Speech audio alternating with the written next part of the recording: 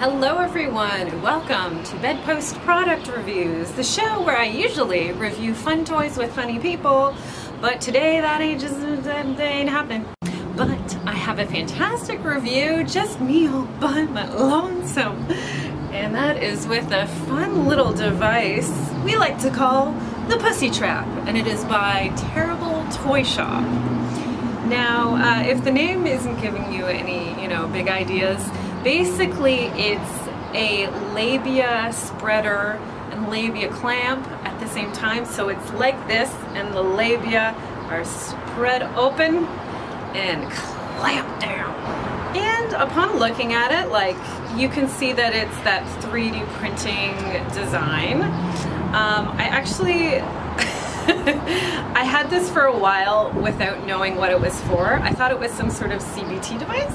But when I realized that it was for labia, I got really excited actually because I don't have really like sensitive outer labia. So I was like, ooh, maybe I can like take some pain there. Not to toot my own labia horn or anything.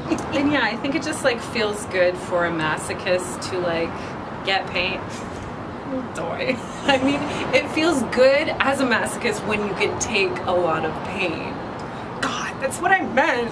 And when I tried it, um, also I thought it was gonna be like really difficult to get on, but it was really easy actually because I thought I would have to like hold my labia spread while I like did all of this and tightened it and stuff like that. But then I just remembered, okay, you could like figure it out and then you could shut it enough that you wouldn't have to like hold it there. Like it would stay in place and then you just tightened it. So it's actually pretty easy to put on. The other thing that I was like a little wary of I've tried um, other items from Terrible Toy Shop and they are 3d printed so you know that's a porous material. So I was a little little wary about having this near the genitals just because of bacteria um, when you clean it. Yeah like when you look into the teeth there are lots of little places that bacteria can get hidden although it's not being like used internally, still it's like near the genitals. So something that I wasn't super thrilled about.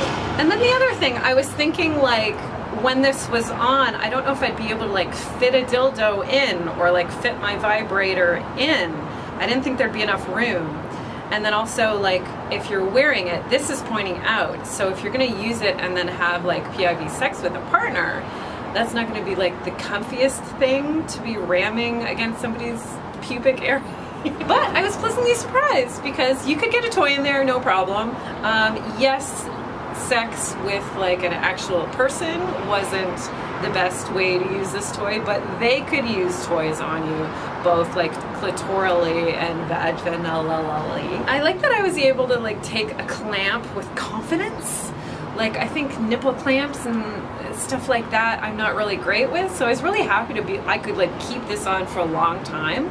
And then when I took it off it was kind of like ooh when I took it off. But other than that it was totally manageable type of pain for me. So it was nice. So yes. Got that echoed.